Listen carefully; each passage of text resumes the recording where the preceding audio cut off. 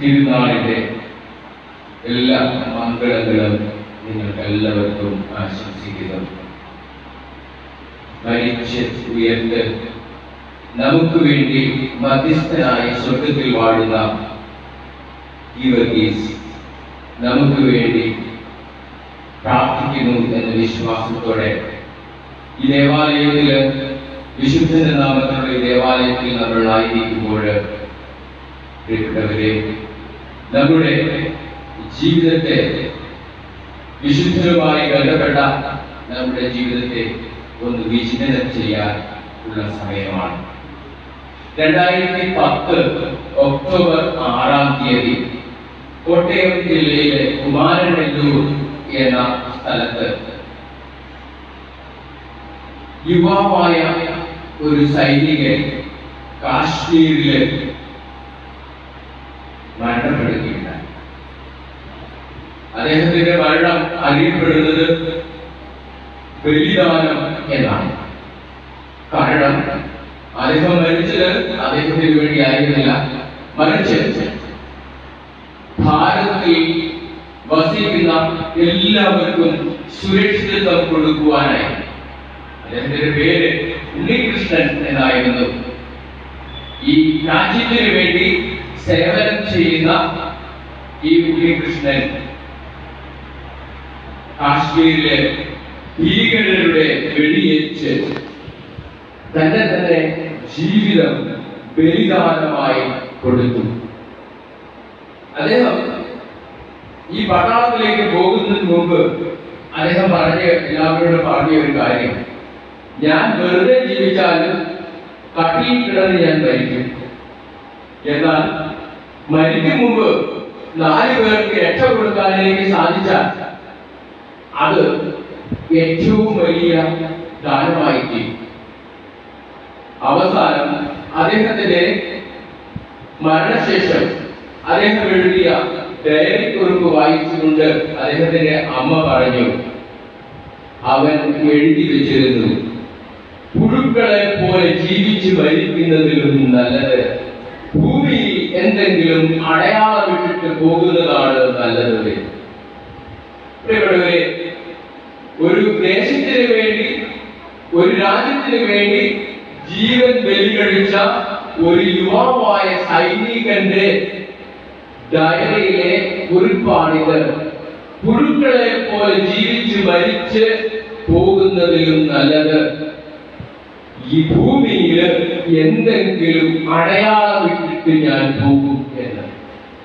ഇന്നും അദ്ദേഹം ഒരു വിശുദ്ധനായി അറിയപ്പെടുന്നു. രാജ്യത്തിന് വേണ്ടി ജീവൻ ബലികഴിച്ചവനായി അറിയപ്പെടുന്നു. ഇന്നും മനുഷ്യരുടെയും കുടുംബങ്ങളുടെയും കൂടെ അദ്ദേഹം ഉയർത്തെഴുന്നേറ്റ് നിൽക്കുന്നു. കാരണം മറ്റൊന്നുമല്ല മറ്റുള്ളവർക്ക് വേണ്ടി നമ്മുടെ സുസ്ഥിതിക്ക് വേണ്ടി നമ്മുടെ സ്വതന്ത്രമായ ജീവിതത്തിന് വേണ്ടി അദ്ദേഹം ബലി നൽകി ഇന്ന് നമ്മൾ വിശുദ്ധ ഗീവർഗീസിന്റെ തിരുനാൾ ആഘോഷിക്കുമ്പോൾ പ്രിയപ്പെട്ടവരെ താൻ വിശ്വസിച്ച ഗുരുവിനു വേണ്ടി ജീവൻ ബലി കഴിക്കുന്നത അതല്ല ജീവൻ ബലി കഴിക്കുന്നതാണ് ഏറ്റവും ശക്തമായത് എന്ന് പറഞ്ഞുകൊണ്ട് ആ ഒരു വിശ്വാസത്തിൽ അടിയറ വെച്ച് അല്ലെങ്കിൽ ആ വിശ്വാസത്തിലെ അടിവരയിട്ടുകൊണ്ട് ഒരു വിശുദ്ധൻ നമുക്ക് വേണ്ടി മരിച്ചതിന്റെ ഓർമ്മയാണ് നമ്മൾ ഇന്ന് ആചരിക്കുന്നത്. മലയാളികൾക്ക് രക്തസാക്ഷികളെ വളരെയധികം ഇഷ്ടമാണ്. നമുക്കറിയാം നമ്മുടെ വിശുദ്ധനെയൊക്കെ നോക്കിയാൽ വിശുദ്ധ സെബസ്ത്യാനോസ് രക്തസാക്ഷിയാണ്.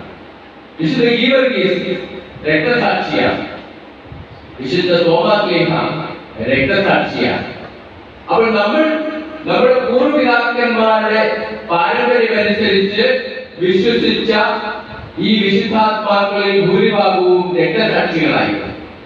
കാരണം ഈ മലയാളിയെ സംബന്ധിച്ചിടത്തോളം അവൻ പരാജയപ്പെടും എന്ന് ചിന്തയുള്ളപ്പോൾ കുടിയേറ്റം നടത്തി ആ പരാജയത്തിൽ വിജയം വരിക്കാനായിട്ട് പരിശ്രമിച്ചവരാണ് മലയാളികൾ. നിങ്ങളിൽ നിങ്ങളുടെ മാതാപിതാക്കളിൽ ഭൂരിഭാഗം പേരും ഇവിടെ ജനിച്ചവരായിരിക്കും. മറിച്ച് തിരുവിതാംകൂറിൽ നിന്നും കുടിയേറിയവരാണ്.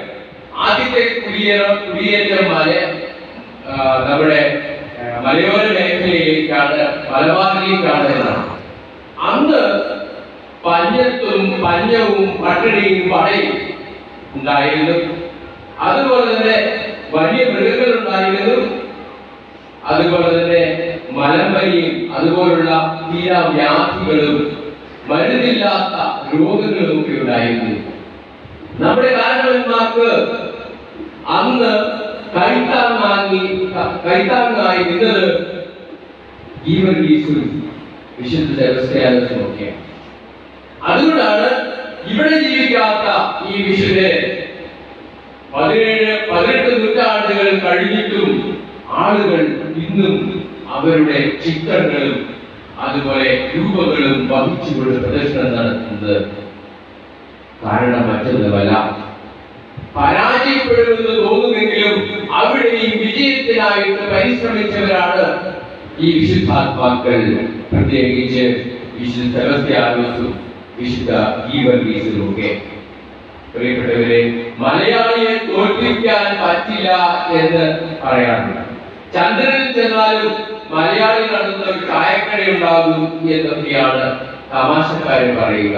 അതിലൊക്കെ ഒരു സത്യമുണ്ട് കാരണം എന്താ ജീവിതത്തിൽ പരാജയപ്പെടാനായിട്ട് സാധ്യതയുണ്ടെങ്കിലും നമ്മുടെ വിശുദ്ധന്മാർ നമുക്ക് കാണിച്ചു തരുന്നത് പ്രതീക്ഷയുടെ വലിയ സന്ദേശമാണ്. ക്രിസ്തുവിൽ ജീവിക്കുന്നവൻ മരിച്ചാലും ജീവിക്കും. ക്രിസ്തുവിൽ ജീവിക്കുന്നവർ മരിച്ചാലും ജീവിക്കും. നമ്മൾ കേട്ടിട്ടുള്ള ഒരു വിപ്ലവ ഗാനമാണ് ഓരോ തുള്ളി ചോരയിൽ നിന്നും ഒരായിരം പേരും ഉയരുന്നു. അതായത് രക്തസാക്ഷിത്വത്തിലൂടെ അനേകർ സഭയിലേക്ക് കടന്നു വന്നു. ഈ വിശുദ്ധാത്മാക്കളുടെ രക്തം വീണ മണ്ണിലാണ് സഭ രൂപപ്പെട്ടത്. ഇന്ന് കോടിക്കണക്കിന് സഭാമക്കൾ പിറകിയെടുത്തത് ഈ വിശുദ്ധാത്മാക്കളുടെ രക്തസാക്ഷ്യത്തിലാണ് അവരുടെ ചുരുനീളം വീണ സഭാ തരുവാണ്. ഇത്രയും ലോകം എമ്പാടും വിശ്വാസികളായി പടർന്ന് പന്തലിച്ചതിന്റെ കാരണം ഈ രക്തസാക്ഷികളുടെ മാധ്യസ്ഥമാണ് വെളിപാടിന്റെ പുസ്തകത്തിലെ രണ്ടാമത്തെ പത്താമത്തെ വചനം പറയുന്നതാണ് മരണം വരെ വിശ്വസ്തനായിരിക്കുക. നിനക്ക് ഞാൻ ജീവന്റെ കിരീടം തരും. മരണം വരെ വിശ്വസ്തനായി തീർന്ന ഒരു വിശുദ്ധനെ നമ്മൾ ഇന്ന് ഓർക്കുകയാണ് ചക്രവർത്തിയുടെ കാലത്ത് ജീവിച്ചിരുന്ന വിശുദ്ധാത്മാക്കളാണ് വിശുദ്ധ സെബസ്ത്യാനോസും വിശുദ്ധ ഗീവർഗീസും.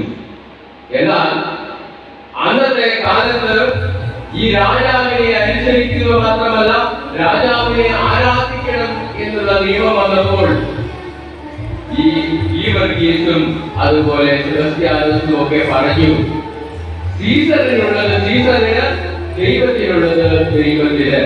ദൈവത്തിനുള്ളത് ഞാൻ ഒരിക്കലും സീസറിന് കൊടുക്കില്ല എന്ന് പറഞ്ഞപ്പോൾ രാജാവിന് അവർ അനഭിഭക്തരായി മാറി അല്ലെങ്കിൽ രാജാവിന് ഇഷ്ടക്കേടുണ്ടായി. അങ്ങനെ രാജാവിന്റെ പട്ടാളത്തിൽ ഉണ്ടായിരുന്ന ഈ ഗീവർഗീസിനെ രാജാവിനെ ആരാധിക്കാതിരുന്നപ്പോൾ Gelin şeyler, şeyler koşan ayıkları gibi var.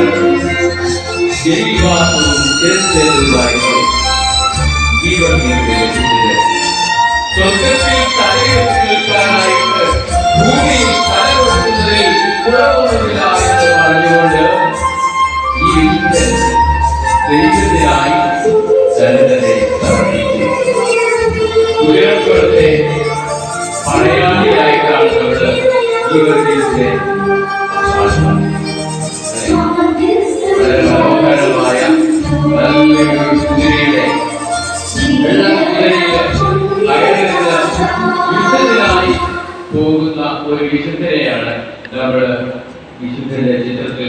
രോഗികളെ സുഖപ്പെടുത്തുന്നതിനും ദുഃഖിതരെ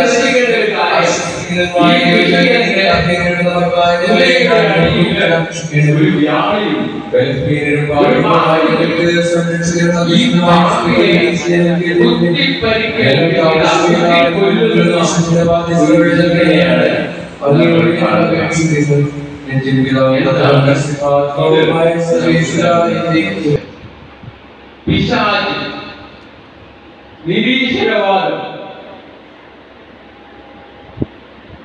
ഇത് രണ്ടുമാണ് ഇതിന്റെ സംരക്ഷിക്കുന്നത് ഈ വ്യാളി എന്ന് പറയുക ചൈനയിൽ നിന്ന് വരുന്ന പാമ്പിനെ വ്യാളി എന്നാണ്. ഈ വ്യാളി എന്ന് പറയുന്നത് പിശാചിന്റെ രൂപമാണ് പ്രിയപ്പെട്ടവരെ. നമ്മുടെ മലയാളത്തിന്റെ ഒരു കവി കേട്ടിരിക്കും മുരുകൻ കാട്ടാക്കട എന്ന് പറഞ്ഞ കവി നെല്ലിക്ക എന്ന ഒരു കവിത എഴുതി അദ്ദേഹം പാടുന്നത് ഇങ്ങനെയാണ് നന്മയ്ക്ക് പകിട്ട് കുറയുന്ന കാലം തിന്മയ്ക്ക് പകിട്ട് കൂടുന്ന കാലം. ഇതൊക്കെ കാലത്തെ കുറിച്ച് അദ്ദേഹം പാടുന്നത് ഇതാണ്. നന്മയ്ക്ക് പകിട്ട് കുറയുന്ന കാലം. തിന്മയ്ക്ക് പകിട്ട് കൂടുന്ന കാലം. നന്മയും തിന്മയും വേർതിരിച്ച് കാണാൻ സാധിക്കാത്ത ഒരു കാലം നന്മ നടന്നു വരുമ്പോൾ തിന്മയാണോ എന്ന് മനസ്സിലാക്കാൻ സാധിക്കാത്ത ഒരു കാലഘട്ടം. നിങ്ങൾ കേട്ടിട്ടുള്ള ഒരു കഥ? നന്മയും തിന്മയും കുളിക്കാൻ പോയി. രണ്ടുപേരും കുളിച്ചുകൊണ്ടിരിക്കുമ്പോൾ തിന്മ ആദ്യം കുളി കഴിഞ്ഞു കയറി. അവൻ കുളി കഴിഞ്ഞു കഴിഞ്ഞപ്പോൾ രണ്ടുപേരുടെയും ഡ്രസ്സുണ്ട് അപ്പോൾ തിന്മ നന്മയുടെ ഡ്രസ് ഇട്ട് ഓടിപ്പോയി എന്നാണ്. അവസാനം വന്ന നന്മയ്ക്ക് ഡ്രസ് ഇല്ലാതെയായി. നന്മ തിന്മയുടെ ഡ്രസ് ഇട്ടുകൊണ്ടാണ് നടക്കുന്നത്. അതായത് നന്മ എന്താണെന്ന് അറിയാൻ മേലാതെയായി നമ്മുടെ അടുത്തേക്ക് തിന്മ വരുമ്പോൾ നന്മയായിട്ട് നമ്മൾ അതിനെ ഗണിക്കുന്നു. ഇതാണ് ഞാൻ പറഞ്ഞത്. ഈ തിന്മയെ നിഷ്കാസനം ചെയ്യുവാനായിട്ട് അവതാരമെടുത്ത പുണ്യപുരുഷനാണ് ഈ വർഗീസ് സഗത എന്നുള്ളത്. ഇന്ന് പ്രിയപ്പെട്ടവരെ നമ്മൾ ആയിരിക്കുന്ന സ്ഥലങ്ങളിൽ ഒത്തിരി തിന്മകൾ കടന്നു വരുന്നത് നമ്മൾ കാണുന്നുണ്ട്. നമുക്കറിയാം നമ്മുടെ വയനാട്ടിൽ തന്നെ ആണ് ഒരു മാസം മുമ്പ് ആ വെറ്ററിനറി കോളേജിലെ ഒരു യുവാവിനെ ഡോക്ടറാകാൻ പഠിച്ച ഒരു യുവാവിനെ കുറെ ഭസ്മരന്മാര് സഹവിദ്യാർത്ഥികൾ പട്ടിണിക്കിട്ട് അടിച്ച് ഇടിച്ച് കൊന്ന് കെട്ടിത്തൂക്കിയത്. അത് അകലൊന്നുമില്ല പത്ത് മുപ്പത് കിലോമീറ്റർ മാത്രമേ ഉള്ളൂ. അങ്ങ് അകലെയല്ല. ഈ തിന്മകൾ സംഭവിക്കുന്നത് പ്രിയപ്പെട്ടവരെ. അതുപോലെ തന്നെ ഒരു പുരോഹിതനെ വണ്ടി ഇടിച്ച് കൊല്ലാൻ വേണ്ടി വണ്ടിയുമായിട്ട് പള്ളി കോമ്പൗണ്ടിലേക്ക് ഭീകരന്മാരും ഐ ഒക്കെ കടന്നു വന്ന ചരിത്രങ്ങൾ നമ്മൾ കണ്ടിട്ടുണ്ട്. ഇതൊക്കെ പൈശാചിക പ്രവണതകളുടെ ഉദാഹരണങ്ങളാണ് പ്രിയപ്പെട്ടവരെ. മാന്യമായി ജീവിക്കുന്ന വ്യക്തികളെ സോഷ്യൽ മീഡിയയിലൂടെ വാട്സപ്പിലും ഫേസ്ബുക്കിലും ഒക്കെ വ്യാജ പ്രചരണങ്ങൾ നടത്തുമ്പോൾ ഈ വ്യാളിയുടെ ഈ പിശാചിന്റെ പ്രവർത്തനങ്ങൾ തിന്മയുടെ പ്രവർത്തനങ്ങൾ നമ്മുടെ കുടുംബങ്ങളിലും സമൂഹത്തിലും കടന്നു വരികയാണ്. നമ്മുടെ പെൺമക്കളെ പ്രണയം കഴിച്ച് കൊണ്ടുപോകാനായിട്ട് അന്യജാതിക്കാരൻ കടന്നു വരുമ്പോൾ ഓർക്കുക അവിടെയും നന്മയെന്ന് കാണിച്ച് നന്മയുടെ നിറത്തിൽ തിന്മ കടന്നു വരുമ്പോൾ നമ്മൾ പകച്ചു പോകുന്നു. ഓർക്കുക ഇവിടെ തിന്മ വിളയാടുന്ന കാലഘട്ടമാണ് നമ്മൾ ജീവിക്കുക. ഇവിടെ ഉയർത്തുവരേണ്ടിയിരിക്കുന്നു. തിന്മയെ നിഷ്കാസനം ചെയ്യുന്ന വ്യാളിയെ കൊല്ലുന്ന ഒരു ഗീവർഗീസ് നമ്മുടെ ഇടയിൽ നിന്നും ഉയർത്തു വരേണ്ടിയിരിക്കുന്നു. പ്രിയപ്പെട്ടവരെ ഈ തിരുനാൾ നമ്മൾ ആഘോഷിക്കുമ്പോൾ നമ്മൾ ചിന്തിക്കുക നമ്മുടെ ഇടയിൽ പതുങ്ങിയിരിക്കുന്ന ഈ പിശാചുകളെ നമ്മുടെ ഇടയിൽ രൂപപ്പെട്ടു വരുന്ന ഈ പിശാചുക്കളെ നമ്മൾ തിരിച്ചറിഞ്ഞില്ല എങ്കിൽ പലപ്പോഴും നന്മയാണ് എന്ന് കരുതി നമ്മുടെ കുടുംബത്തിലേക്കും നമ്മുടെ ജീവിതത്തിലേക്ക് നമ്മൾ കൊണ്ടുവന്നാൽ ഞാൻ പറഞ്ഞതുപോലെ നന്മയ്ക്ക് പകിട്ട് കുറയുന്ന ഈ കാലത്ത് തിന്മയ്ക്ക് പകിട്ട് കൂടുന്ന ഈ കാലത്ത് നന്മയും തിന്മയും മനസ്സിലാക്കാൻ സാധിക്കാത്ത ഈ കാലത്ത് പ്രിയപ്പെട്ടവരെ ജീവർഗീസ് നമ്മുടെയൊക്കെ ഭവനത്തിലേക്ക് കടന്നു വരണം. അവൻ നമ്മുടെ ഭവനത്തിൽ ഉയർത്തെഴുന്നേൽക്കണം. തിന്മയെ നിഷ്കാസനം ചെയ്തുകൊണ്ട് ക്രിസ്തുവിന് വേണ്ടി ജീവൻ ബലികഴിച്ച ഈ മനുഷ്യൻ ഈ രക്തസാക്ഷി ഈ വിശുദ്ധൻ നമ്മളെ പഠിപ്പിക്കുന്നത് മറ്റൊന്നുമല്ല. നമ്മൾ ശ്രദ്ധയോടെ നമ്മുടെ ക്രൈസ്തവ ജീവിതം നയിക്കണം. കാരണം ഇന്ന് നമ്മുടെ ഇടയിലെ ക്രിസ്ത്യാനികൾ കുറഞ്ഞു വരികയാണ്. പത്ത് വർഷം കഴിയുമ്പോൾ ഇതുപോലെ തിരുനാൾ ആഘോഷിക്കുവാൻ എത്ര പേര് നമ്മുടെ ദേവാലയത്തിൽ എത്തും എന്നുള്ളത് ചിന്തിക്കേണ്ട ഒരു കാര്യമാണ്. ക്രിസ്ത്യാനികൾ കുറഞ്ഞു വരുന്ന കാലഘട്ടത്തിൽ പല കാരണങ്ങൾ നമുക്ക് പറയാനായിട്ട് സാധിക്കും. അതിലേക്ക് ഞാൻ പോകുന്നില്ല. നമ്മൾ ഓർക്കുക നമ്മുടെ സഭ പ്രായമായവരുടെ സഭയായി മാറി തീരുകയാണ്. അതിന് നമ്മൾ ശ്രദ്ധിച്ചില്ല എങ്കിൽ നമ്മുടെ രാഷ്ട്രീയ പാർട്ടികളും വലതും ഇടതും നടുക്കുമുള്ളവരൊന്നും നമ്മളെ എപ്പോഴും കൂടെ കൊണ്ടുവന്ന് വോട്ടിന് വേണ്ടി നമ്മുടെ അടുത്ത് വരുമെങ്കിലും കാര്യം വരുമ്പോൾ നമ്മിൽ നിന്നുമെല്ലാം അകന്നു പോകുന്നവരാണ്. അപ്പോൾ ഇവരെയൊക്കെ നമ്മൾ സൂക്ഷിക്കണം. ഇതിലെ നന്മ മാത്രം നമ്മൾ തിരഞ്ഞെടുക്കണം. നന്മയുടെ രസത്തിൽ വരുന്ന തിന്മയെ നമ്മൾ മനസ്സിലാക്കണം പ്രിയപ്പെട്ടവരെ. അപ്പോൾ തീർച്ചയായും ഈ വിശുദ്ധന്റെ തിരുനാൾ ആഘോഷിക്കുമ്പോൾ നമുക്കറിയാം ഈ തിരുനാളിന്റെ ഏറ്റവും അടിയെ നോട്ടീസിന്റെ അടിയിൽ എഴുതി വെച്ചിട്ടുണ്ടാവും. അടിമ വെക്കാൻ സൗകര്യമുണ്ടായി അടിമ വെക്കാൻ സൗകര്യം ഉണ്ടായിരിക്കും അടിമകളായിട്ടുള്ള ആളുകൾ ഒത്തിരി പേര് കടന്നു വരും. അടിമ വെക്കാൻ ആളുകൾ കടന്നു വരും. എന്നാൽ ഈ വിശുദ്ധന്റെ വിശ്വാസ ജീവിതം ജീവിക്കാൻ എത്ര വിശുദ്ധന്റെ അടിമ കടന്നു വരും? അടിമ വെച്ച് നേർച്ച പണ്ട ഭണ്ഡാരങ്ങൾ നിറഞ്ഞു തീരും എന്നാലും മനുഷ്യൻ തിന്മയെയാണ് കൂടുതൽ സ്നേഹിക്കുന്നതുവെങ്കിൽ പ്രിയപ്പെട്ടവരെ അടിമ വെച്ചതുകൊണ്ട് വലിയ കാര്യമില്ല. റോമാക്കാർക്കുള്ള ലേഖനത്തിലെ ആറാമത്തെ പതിനാറാമത്തെ പറയുന്നത് ഇനി മുതൽ ഞാൻ പാപത്തിന് അടിമയല്ല എന്നാണ്. പൗരസ്ലിഹ കാര്യമാണ് ഇനി മുതൽ ഞാൻ പാപത്തിന് അടിമയല്ല. ക്രിസ്തു എന്നിൽ ജീവിക്കുന്നു. അപ്പോൾ പ്രിയപ്പെട്ടവരെ നമ്മുടെ ഇടയിൽ നിന്നും ഇനി ഈ വർഗീസ് ഉയർന്നു വരേണ്ടിയിരിക്കുന്നു. ഈ പെരുന്നാൾ ആഘോഷം ഒന്ന് പുറകോട്ട് തിരിഞ്ഞ് ചിന്തിക്കുവാനുള്ള സമയമാണ്. നമ്മുടെ വിശ്വാസ ജീവിതം എവിടം വരെയായി?